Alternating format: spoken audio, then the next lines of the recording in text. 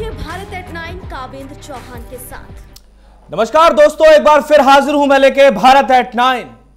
दर्शकों, आज एक बार फिर पाकिस्तान खटिया खड़ी। आज एक बार फिर पाकिस्तान ने साबित कर दिया है कि उसको क्यों कटोरा लेकर घूमने वाला देश कहा जाता है। आज एक बार फिर पाकिस्तान ने साबित कर दिया है कि आखिर क्यों हम उसको एक मूर्खों की टोली कहते हैं।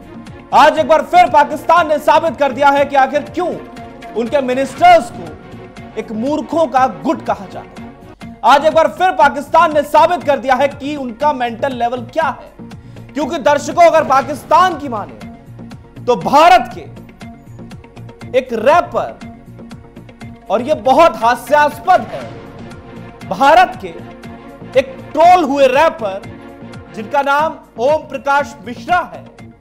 उनका कहना है कि ओम प्रकाश मिश्रा, वो रैपर जिसका एक गाना आया था और गाने के बोल बहुत बेहुदा थे, लेकिन फिर भी उनके गानों के जो बोल थे उसको लेकर वो ट्रोल हुए और लगातार ट्रोल होते रहे। और पाकिस्तान के मिनिस्टर मंत्रियों का आज कहना है कि ओम प्रकाश मिश्रा भारत का एक नौजवान, एक युवा, जो भारत में सिर्फ़ इसलिए जाना जाता है क्योंकि उसने एक बेहुदा सा गाना बनाया था, वो पाकिस्तान के लिए आज सबसे बड़ा खतरा।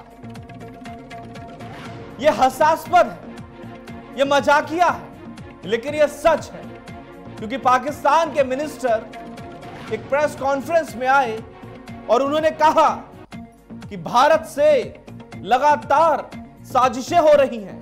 पाकिस्तान में एक सिचुएशन क्रिएट की जा रही है। पाकिस्तान को परेशानियों में डालने की साजिश है भारत की, और यह कौन कर रहा है? तो दर्शकों लाफ आउट लाउड क्योंकि उन्होंने नाम लिया ओम प्रकाश मिश्रा का। पाकिस्तान की ये दलीलें एक जोक है, और वो खुद जोक है बार बार साबित करते हैं, न रुकते हैं, न थमते हैं, अपना मज़ाक बनवाते रहते हैं। क्या कुछ कहा है वहाँ के मंत्री फवाद साहब ने सबसे पहले आपको वो, उनके कथन, उनकी वो बातें, उनके वो आरोप, सब कुछ सुनना चाहिए, जहाँ वो कहते आपको दिख जाएँगे कि बहुत बड़ी साजिश है।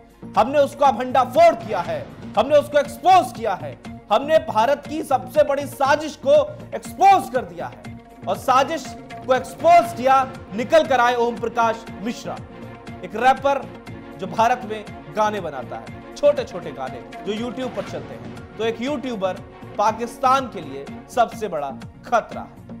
आप उनके वचनों को सुनिए, उनकी बातों को सुनिए। ईमेल आईडी जनरेट की गई हमजा अफरीदी के नाम से। उसके 15 मिनट के बाद उसी ईमेल आईडी से ये न्यूजीलैंड की टीम को थ्रेड जनरेट किया गया। और ये जो ईमेल आईडी है, ये हिंदुस्तान से वीपीएन के ज़रिए की गई। जिसमें लोकेशन बदली गई, सिंगापुर शो किया गया। इंटरेस्टिंगली जिस डिवाइस से ये ईमेल भेजी गई, उस डिवाइस के ऊपर तेरह और आईडीज हैं। यानी जिस डिवाइस से ये ईमेल जनरेट हुई हमजा अफरीदी की, उसकी तेरह और आईडीज हैं। और वो तेरह की तेरह जो आईडीज हैं, वो हिंदी नामों के ऊपर है। जिसमें ज़्यादातर जो 12 आई मेल जो ईमेल्स जो और इस आईडी के साथ एफिलिएटेड हैं, वो इंडियन और हिंदी नामों के ऊपर है। उनमें फ़िल्मों के नामों के ऊपर जो है वो ईमेल्स क्रिएट की गई हैं। और तमाम जो ईमेल्स हैं, वो एक्चुअली हिंदी फ़िल्म इंडस्ट्री और दूसरे ड्रामाज और म्यूज़िक उनके नामों के ऊपर बनाई गई हैं। सिर्फ़ एक नाम उनमें डिफरेंट डाला गया है, वो है हमजा आफरीदी का नाम।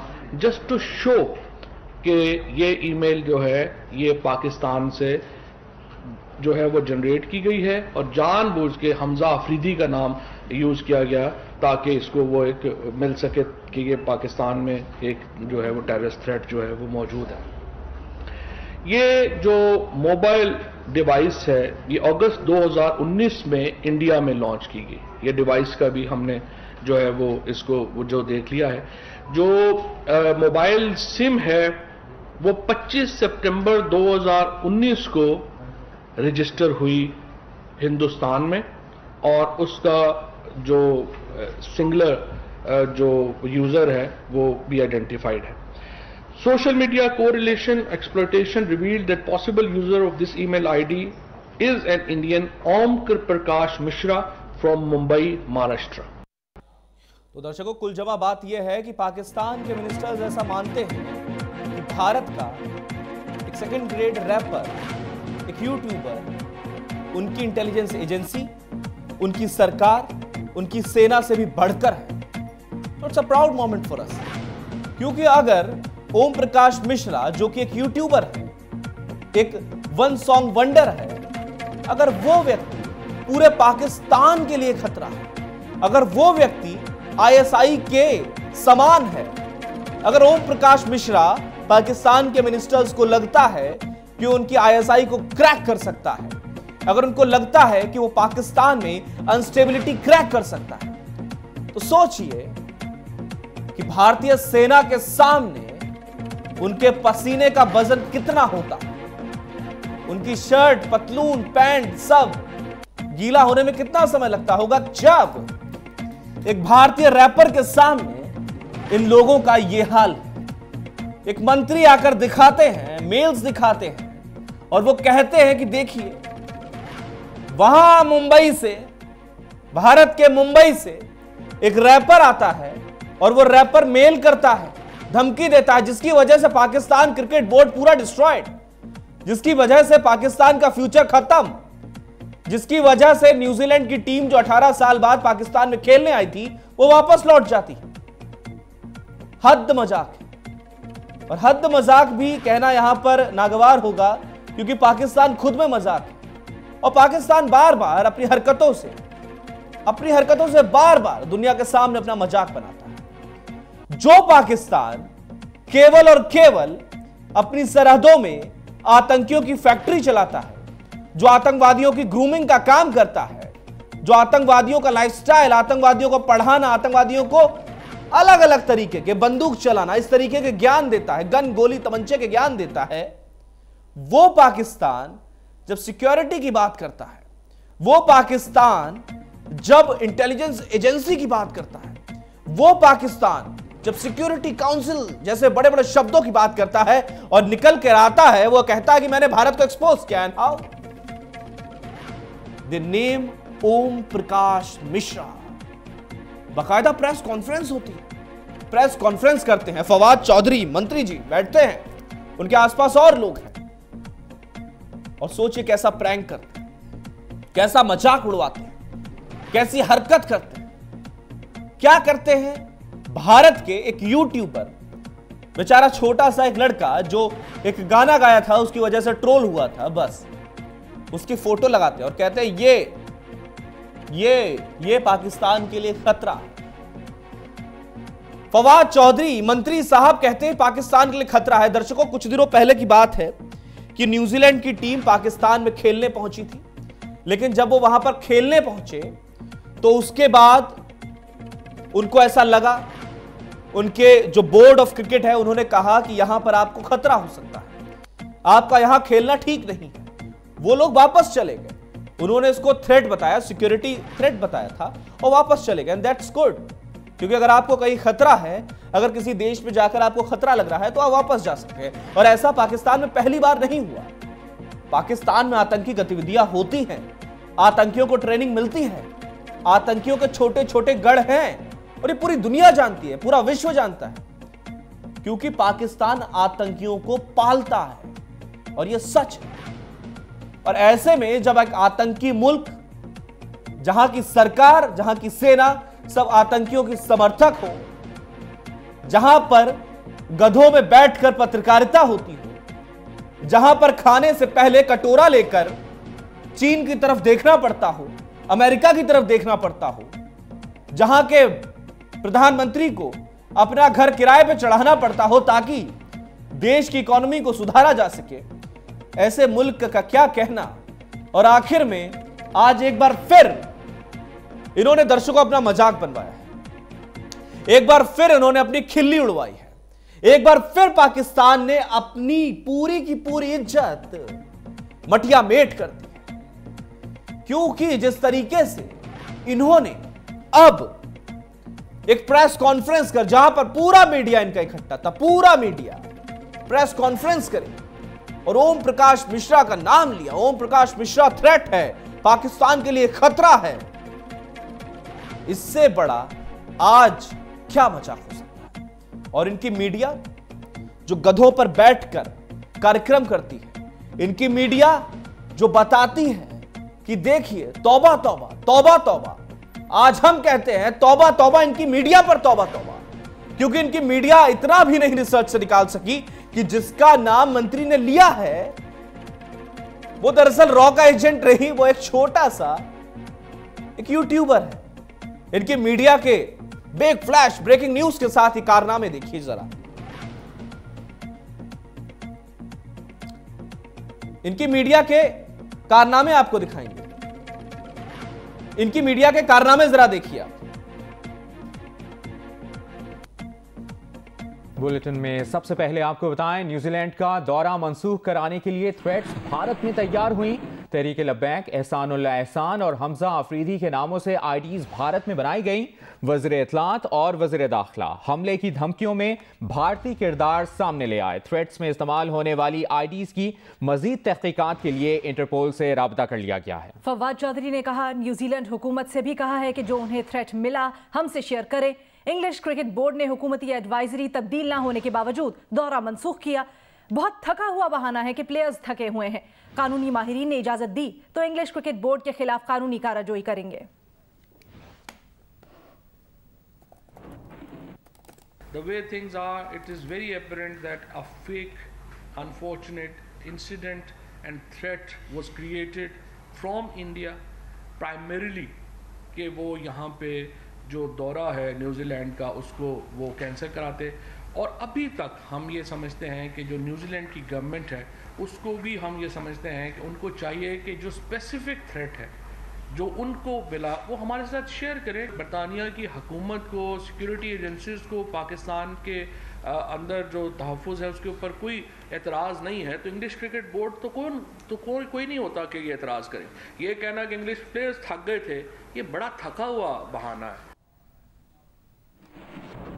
इसी प्रेस कॉन्फ्रेंस के दौरान विफाकी वज़ीर दाखिला शेख रशीद ने कहा भारत पाकिस्तान में दहशतगर्दी से बाज नहीं आ रहा। न्यूजीलैंड क्रिकेट टीम के दौरान पाकिस्तान की मनसूखी पर पाकिस्तान के तनहा होने की बातें करने वाले अकल के अंधे हैं। ये भी कहा कि हम ज़िंदा कौम हैं हमें तनहा और नजरअंदाज नहीं किया जा सकता। हमने दस हज़ार से ज़्यादा लोगों को इवैक्यूएट किया है। नेटो फोर्सेस को किया है आईएमएफ को किया है अमेरिकन को किया है वर्ल्ड बैंक को किया है। जिस वक्त न्यूजीलैंड की टीम ठहरी हुई थी, वहाँ और भी 11-12 इम्पोर्टेंट पर्सनैलिटीज ठहरी हुई थी। क्योंकि इंडिया को मायूसी हुई है कि पाकिस्तान स्केप बोर्ड नहीं बन सका। और हिंदुस्तान का जो ये सोच थी कि वहाँ खाना जंगी होगी और वहाँ कत्लो गारत इतना होगा कि यहाँ महाजरीन का एक तूफ़ान होगा। एक सिंगल महाजरीन भी नहीं आया ने कोई महाजर कैंप भी नहीं बनाया। अब पाकिस्तान से अफ़गानिस्तान जाने वाले लोगों की तादाद ज़्यादा है। अफ़गानिस्तान से पाकिस्तान आने वालों की कम है। एवरीथिंग ए पीसफुल ये सारा टोपी ड्रामा है। और इस टोपी ड्रामा के जो दुस्ताने पहने हुए हाथ हैं, उनको नाकामी होगी। दर्शक this is the fact Pakistan ministers Pakistan's army, that Pakistan's intelligence unit thinks that a rapper, a YouTuber from India is the biggest threat to them.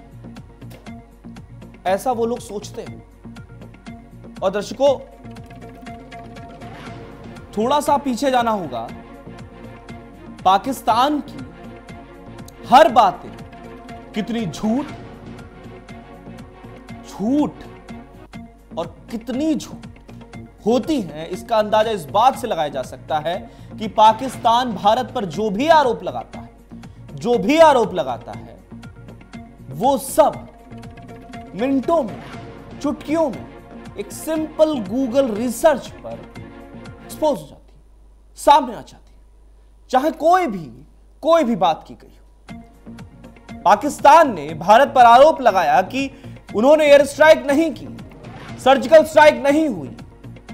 लेकिन हमारी तरफ़ से दिए गए सबूतों में साफ़ हो गया कि पाकिस्तान पर सर्जिकल स्ट्राइक भी हुई, पाकिस्तान पर एयर स्ट्राइक भी हुई और पाकिस्तान में घुसकर हमने उन आतंकियों को मारा जो पाकिस्तान में ट्रेनिंग लेते हैं। हमारी लड़ाई वहाँ के सामान्य लोगों से, वहाँ की जनता से बिल्कुल नहीं है। वो खुद बेचारे वहाँ की सरकार, वहाँ की सेना, वहाँ की इंटेलिजेंस यूनिट जो कि मूर्खों का एक ग्रुप है, उनके अंडर में बेचारे परेशान भारत और पाकिस्तान एक साथ अलग हुए थे। भारत का बेटा है पाकिस्तान। भारत का एक अंग अलग किया गया था। कुछ लोगों की रणनीति, राजनीति के चक्कर में। अलग मुल्क दिया हमने उनको। अलग मुल्क में वो लोग रहने गए। लेकिन आज कितना पिछड़ गए। ना तो खाने के लिए ढंग से खाना मिल रहा, ना तो इकोनॉमी में कोई बूस्ट है, और कोरोना के वक्त किस तरीके से उनकी व्यवस्था चरमरा गई, किस तरीके से आज भी दुनिया के पटल पर किस तरह से आइसोलेट रहते हैं। कोई भी उनके साथ क्रिकेट नहीं खेलना चाहता, कोई भी उनके क्रिकेटर्स को अपने यहाँ लेना नहीं चाहता, कोई भी उनके इन्वेस्टमेंट नहीं करना चाहता, कोई भी उनके साथ ट्रेड नहीं करना चाहता। उनके पाकिस्तानी पीएम बार बार बार बार कहते हैं कि यूनाइटेड स्टेट्स के प्रेसिडेंट हमारा फ़ोन नहीं उठाते, हमसे बात नहीं कर रहे और वही प्रेसिडेंट भारत के प्रधानमंत्री को इनविटेशन देकर बुलाते यह हाल हो चुका है पाकिस्तान का। यह स्थिति हो चुकी है पाकिस्तान की। और हमको तरस आता I feel sorry for the Pakistanis क्योंकि वो पाकिस्तानी जो भारत के लोग हैं।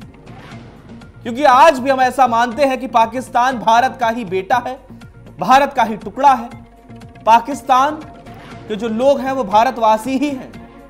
पाकिस्तान के जो लोग हैं, वो हिंदुस्तानी ही हैं। लेकिन वहाँ के कुछ लोग, जिनके दिमाग में राजनीतिक सियासत बहती है, वहाँ की इंटेलिजेंस यूनिट सो कॉल्ड जो आतंकियों का दरअसल ट्रेनिंग सेंटर है वो लोग कभी भी अपनी हरकतों से बाज नहीं और दर्शकों, ये वही लोग हैं जिनकी वजह से भारत से पाकिस्तान को टूटकर अलग होना पड़ा। जिनकी वजह से एक अलग मुल्क बनाने की ज़रूरत पड़ी थी, ये वही मानसिकता के लोग हैं जिन्होंने हमारे विशालकाय भारतवर्ष को विभाजित किया। और आज विभाजन के बाद इन्होंने सोचा था कि एक मुल्क लेकर पूरी तरीके से एक बड़ा सा कुछ करेंगे। इसको आतंक की फैक्ट्री बना देंगे। इसको दुनिया में ये एक सेंटर बना देंगे, जिसके ज़रिए पूरे दुनिया पर कब्जा करेंगे, आतंक फैलाएँगे। लेकिन आज पूरी दुनिया जाग चुकी है और पूरी दुनिया टारगेट कर रही है पाकिस्तान को। इनको बता रही है कि आप आइसोलेट हो चुके हैं। आपके साथ कोई किसी तरीके के संबंध नहीं रखना चाहता। आप अलग थलग पड़े हैं। आपको कोई भी वैश्विक मीटिंग्स में जल्दी इनवाइट नहीं किया जाता। आपकी बातों को अनसुना किया जाता है। आप कश्मीर को लेकर हर जगह हर जगह रोते रहते हैं, हर जगह भीख मांगते रहते हैं, लेकिन पूरी दुनिया जानती है कि कश्मीर भारत का अंग है। ऐसे ही तमाम बार आपकी बेइज्जती हुई, आपके खिलाफ कितनी बार लोगों ने बोला, लोगों ने कहा, चुप करिए, रुक जाइए, मज़ाक मत बनवाइए। लेकिन नहीं, आप इसी के काबिल हैं और आपके मंत्री जिनको बेसिक नॉलेज नहीं है, जिनको बेसिक नॉलेज नहीं है कि क्या होता है, कैसे होता है आई डोंट नो कि इनके साथ इनके सलाहकार,